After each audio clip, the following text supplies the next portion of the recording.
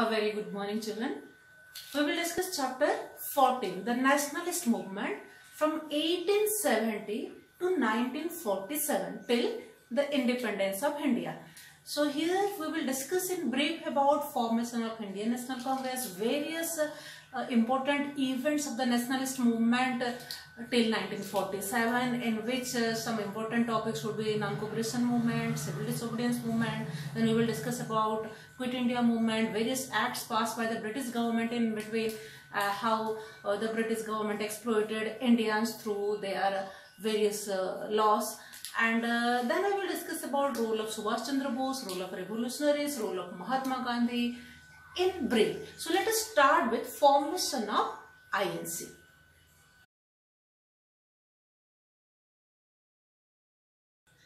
It was in the year 1885 Indian National Congress was formed by a retired British official called A.O.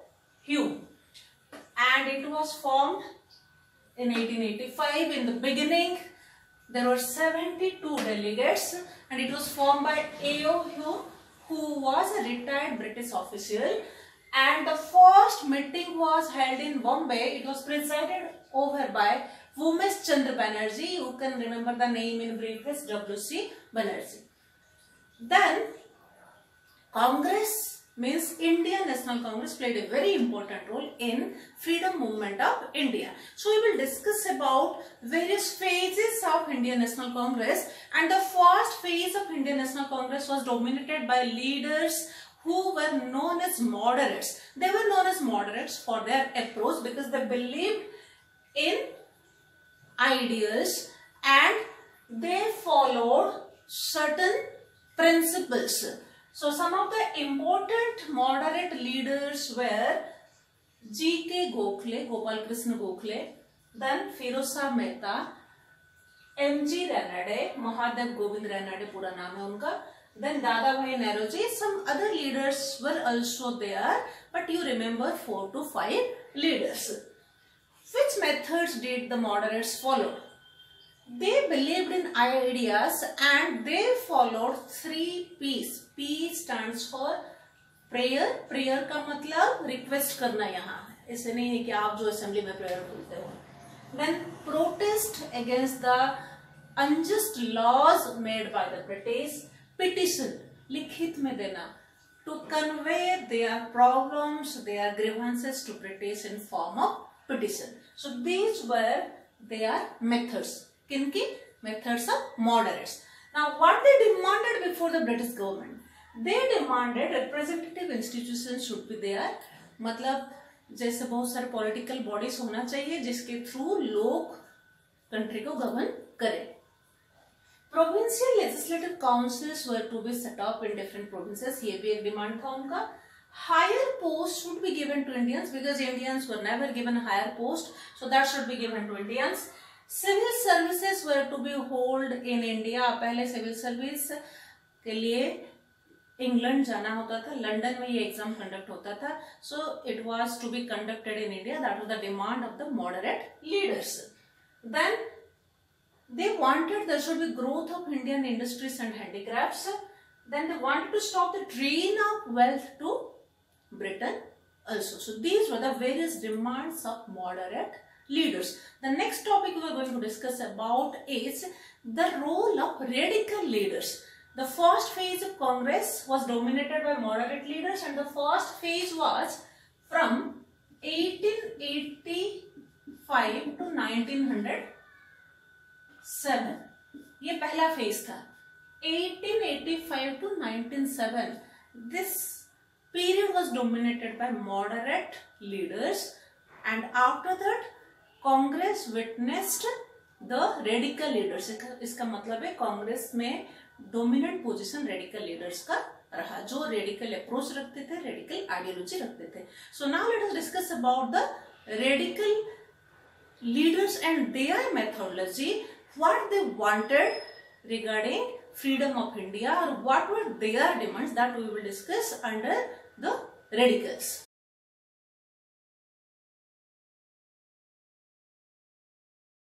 After the moderates, a new group of leaders emerged in Congress.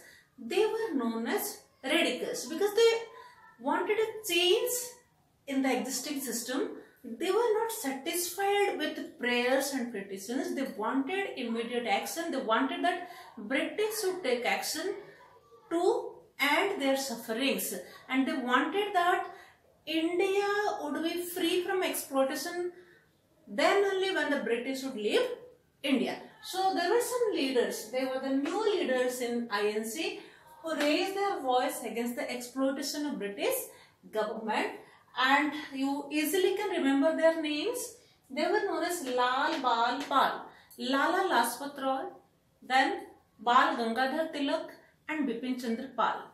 इन तीनों को popularly क्या बोला जाता था क्या बोल के बुलाया जाता था लाल बाल पाल एंड और भी लीडर्स थे, जैसे आपकी बुक में मेंशन है, Arvind Ghosh also was one of the important radical leaders they believed in action rather than ideas and they followed the methods of protest हड़ताल एंड स्लोगन्स हड़ताल एक हिंदी वर्ड है। आप, आपके बुक में हड़ताल मेंशन है, आप लिख सकते हो, ठीक है? जबकि जो मॉडरेट्स थे they believed in prayer petition and protest and uh, the radicals believed in protest, hartal and slogans. It was in the year 1907, 1907 in Surat session इसका मतलब है सूरत में सूरत एक प्लेस है आप जानते हो बॉम्बे के पास में है okay so Surat is in Gujarat and Bombay is in Maharashtra लेकिन डिस्टेंस कम है. सो so, जब सूरत में सेशन हुआ, कांग्रेस का मीटिंग हुआ 1907 में तो जो मॉडरेट और रेडिकल लीडर्स थे, उनके बीच में जो डिफरेंसेस है, वो खुल के सामने आया। So that was known as split in Congress split मतलब जो मतभेद था। So it was in 1907 there was a split in Congress the ideologies of the moderates and the radicals did not match and the radicals wanted that strong action should be taken to fight against British. In between Surat session से पहले भी कुछ और developments हुए थे वो developments हम पहले पढ़ लेंगे it was in 1905 Bengal was partitioned. There was partition of Bengal. Now, the British government divided Bengal. उस टाइम में बंगाल का मतलब है अभी जो प्रेजेंट बांग्लादेश है, जिसको ईस्ट बंगाल बोला जाता था और वेस्ट बंगाल अब दोनों मिला के एक ही बंगाल था and lord Curzon the then viceroy he divided Bengal and what reason he gave? What justification he gave? He told it was difficult to administer and govern such a large province and to collect revenue also it was becoming difficult. So he divided bengal. But the real reason was to break the hindu muslim unity Hindu और मुस्लिम में जो unity था वो उसको break करना चाहते थे। That's why lord Curzon divided Bengal so how the people of Bengal and people of India protested against it people protested and they observe this day as a day of morning मतलब रोने का दिन okay then swadeshi boycott movements were adopted. Swadeshi movement. Now people, they just, uh, okay, uh, discarded the foreign clothes, foreign goods and they wanted to use their own goods. Then boycotting foreign goods and using own goods. Swadeshi का मतलब अपने देश में बना हुआ. So made which are made of our own country. So Swadeshi movement and boycott movement started after partition of Bengal. Then national, the radical leaders they stressed on having national education. Now, what was national education? National education means uh, Indian system of education was to be adopted instead of the British education. So that was also one of the objectives of the radical leaders. And Swaraj was to be achieved. That was self-rule was to be achieved. And students participated in large number in protest against partition of Bengal. It was in the year 1906. In 1906 at Calcutta a session of INC was there and it was presided over by दादा भाई नेहरू जी जो कि एक moderate leader थे and उस session का जो prime objective था स्वराज मतलब self rule was to be achieve by India तो अगर आपको याद रखना है रेडिकल लीडर्स वो क्या चाहते थे? सेल्फ रूल इंडिया इंडियंस के थ्रू ही रूल होना चाहिए. तो ब्रिटिश शुड लीव इंडिया तो ये हमने पढ़ा कि how the radical leaders were slowly emerging in Indian National Congress उसके बाद पार्टीशन ऑफ़ बंगाल हुआ.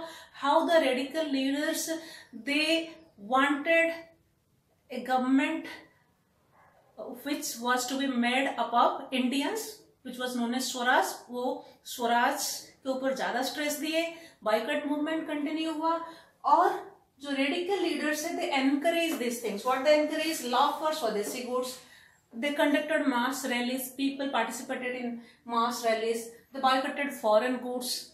And they gave up, they surrendered the titles given by British. उस टाइम में British were giving titles to Indians वो titles क्यों देते थे? जो जमींदार होते थे रिच पीपल होते थे उनको खुश रखने के लिए ब्रिटिश के साइड में रखने के लिए titles were being given so now this titles were given back to the Britishers by Indians so these were अगर आपको क्वेश्चन पूछा जाता है कि रेडिकल्स ने क्या काम किया? जैसे आपने पढ़ा था डिमांड्स ऑफ़ मॉडरेट्स तो what were the objectives of radicals you will write this ये थोड़ा मिला जुला के दिया हुआ है तो you have to understand it तो सबसे पहले धीरे धीरे आईएनसी में रेडिकल लीडर्स का राइज हुआ and they came up with their ideology उस बीच में पार्टीशन ऑफ़ बंगाल भी हो गया. बंगाल वॉज़ पार्टीशन इन 1905 तो सारे लोग इकट्ठा हो गए and they protested against it तो स्वदेशी मूवमेंट शुरू हुआ बॉयकट मूवमेंट शुरू हुआ. फिर in the year 1906 1906 there was a meeting in the Calcutta session of Congress this, uh, which was presided over by Dada Bhai Nehruji it was decided to okay so have Swaraj Swaraj means self rule जैसे आपने chapter eight में पढ़ा है Swaraj is my birth right I shall have it ये slogan किसने दिया था it was बाल Gangadhar Tilak and Bal Gangadhar Tilak was a radical leader तो ये concept of Swaraj developed in India and in 1906 INC session में ये pass किया गया है कि अभी कांग्रेस का ऑब्जेक्टिव होगा to have self rule that was Swaraj. And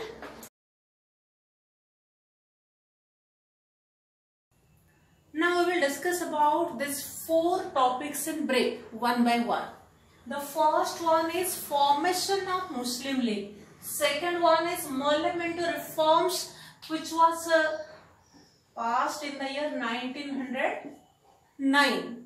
Next we will discuss about formation of Home Rule League in 1916 and then Lucknow Pet of 1916. These are the brief important events which took place and which needs to okay so which you need to know muslim league it was an organization which later demanded for a separate country and it was finally in 1947 before independence india was divided into two countries india and pakistan the seeds of this partition was sowed in the formation of Muslim League in 1906. So it was in the year 1906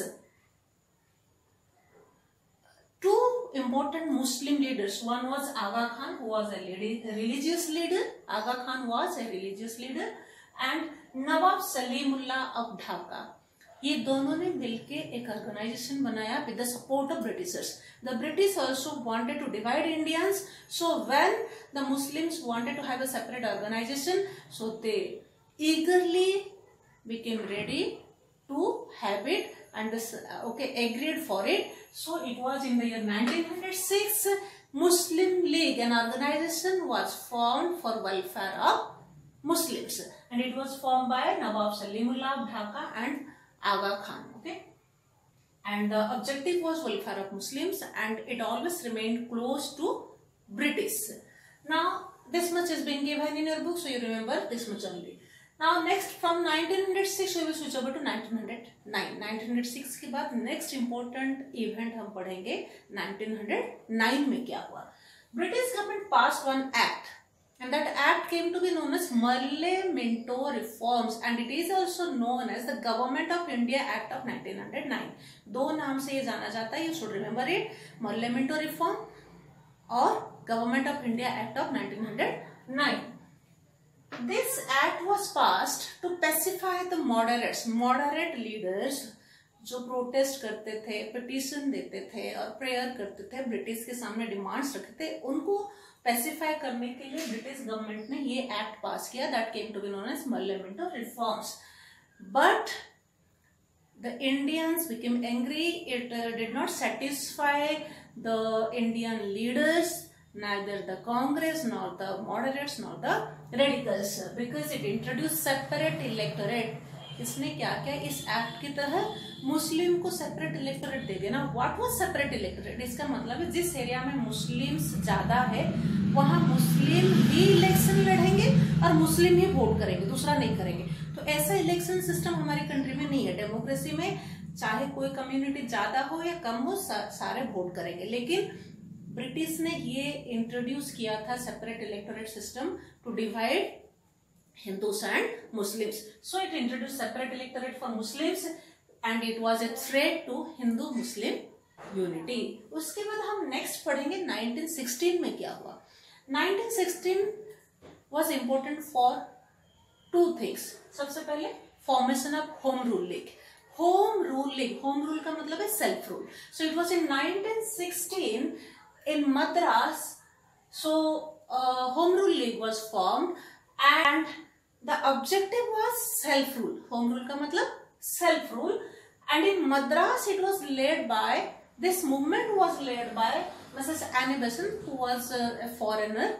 And in maharashtra it was led by bal gangadhar tilak. Okay? So this much you will remember in home rule movement ये movement शुरू हुआ था 1916 में, इसकी objective था self rule मतलब India was to be rule by India the British had to leave India in the same year in 1916 the moderates and radicals were reunited वो अलग कब हुए थे? There was a split in Congress session of nineteen seven in the Surat session of nineteen the moderates and radicals they got separated. They were reunited again in 1916 Congress session. और 1916 का Congress session कहाँ हुआ था? लखनऊ में. And one of the important aspect of the session was that Muslim League and Indian National Congress, they signed an agreement and this agreement came to be known as Lucknow Pact. According to this agreement, now both Muslim League and Indian National Congress agreed for self rule दोनों को, दोनों जो organisation थे the Muslim League and Indian National Congress they now agreed for self rule okay that is swaraj so they agreed for swaraj so this much for today we have completed this small four topics formation of Muslim League then the act of nineteen nine जिसको बोला जाता है मल्लेमेंटो reforms formation of home rule league in 1916 and Lucknow Pact of 1916 so just remember this topics we have covered the formation of Indian National Congress, the moderates, the radicals, the partition of Bengal. Then we have discussed about split in Congress in 1907 and then we have discussed about these four topics home rule league lucknow pact then Malaminto reforms and the formation of muslim league have a nice day